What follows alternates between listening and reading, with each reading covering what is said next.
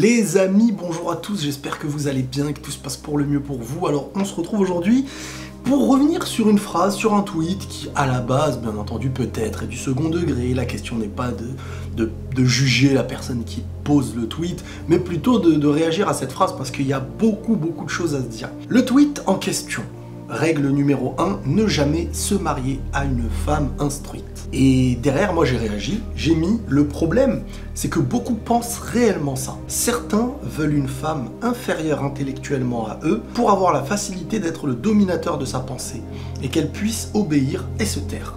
Bon, on est sur Twitter, euh, on doit condenser. Donc euh, on ne peut pas rentrer dans une analyse profonde et je trouve que c'est un sujet hyper euh, intéressant aujourd'hui et ça touche plus de gens qu'on peut le penser.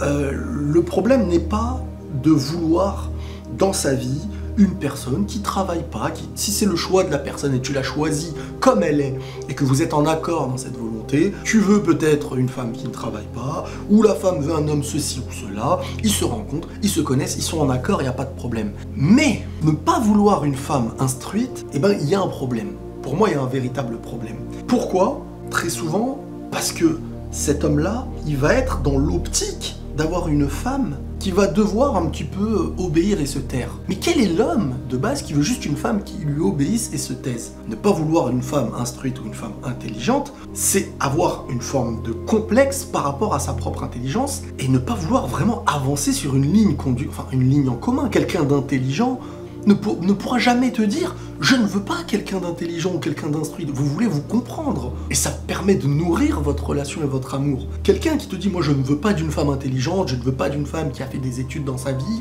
c'est se dire je veux être écouté, je veux être obéi sans même savoir si ce que je vais dire sera la vérité. Je veux pas lui laisser le choix d'avoir la, compréhension, l'intelligence de jauger mes paroles, mais simplement que mes paroles deviennent la vérité. Et si on estime qu'on a besoin d'avoir une personne qui n'est pas intelligente pour estimer que nos paroles seront la vérité et donc écouter, c'est simplement se décrédibiliser. C'est dire qu'une personne intelligente ne resterait pas avec moi. Une personne intelligente ne pourrait pas m'écouter et me suivre. Et la question c'est pourquoi vouloir être obéi à tout prix? Normalement, c'est la vérité qui doit être suivie. Si tu es véridique, tu seras suivi. Et t'as même pas à le demander d'une certaine manière. C'est quand t'es véridique qu'on a envie de t'écouter, qu'on a envie de te suivre instinctivement, et que tu sois le mari ou, n'importe qui. Et ça, ça se rapproche d'une idée de manipulation à mes yeux. C'est-à-dire, je me marie, mais je veux pas qu'on me saoule.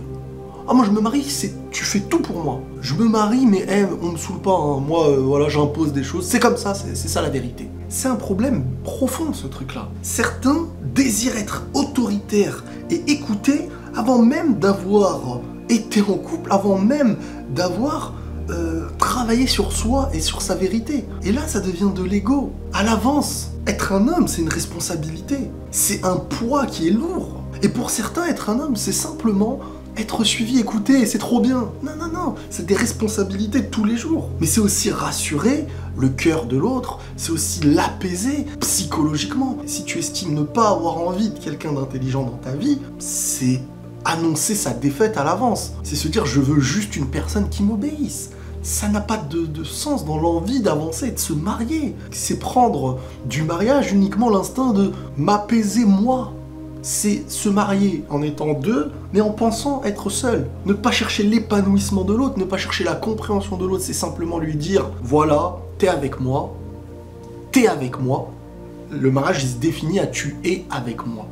C'est pas on est ensemble, on avance ensemble, on se comprend. Tu vas m'apprendre des choses, tu vas m'apporter des choses. Le mariage, ça te fait grandir, ça fait grandir les deux. C'est le travail de chacun envers lui qui devient un travail de chacun envers l'autre pour faire qu'un et grandir. Normalement, il est là le, sens de se marier. Et aujourd'hui, il y a beaucoup de gens, et je m'arrête pas sur ce tweet, beaucoup, beaucoup de gens se disent purée, j'espère que la femme avec qui je vais être, ça va pas être quelqu'un de trop intelligent, ça va pas être quelqu'un de. Normalement, l'intelligent est amoureux de l'intelligence. Et l'intelligence, elle peut exister chez tout le monde. Mais il faut faire le travail pour y arriver. Et l'avoir rejeté chez nous pousse à nous demander qu'elle n'existe pas en face. Parce que si elle existe en face, on se sent complexé, on se sent rabaissé, on ne se sent plus dominateur. On... Mais pourquoi? C'est pas le problème de l'autre. C'est parce que t'as pas fait le tien. Et si tu n'as pas fait le tien, ne cherche pas à écraser parce que tu es à un étage assez bas, quelqu'un qui est à un étage encore plus bas. Chercher un étage encore plus bas, non, cherche à te nourrir, cherche à grandir. Voilà, je voulais revenir rapidement sur, cette petite euh, phrase, on pourrait y rentrer un peu plus en profondeur. Euh, ça dépendra de vos retours, prenez tous soin de vous les amis, et la paix sur vous.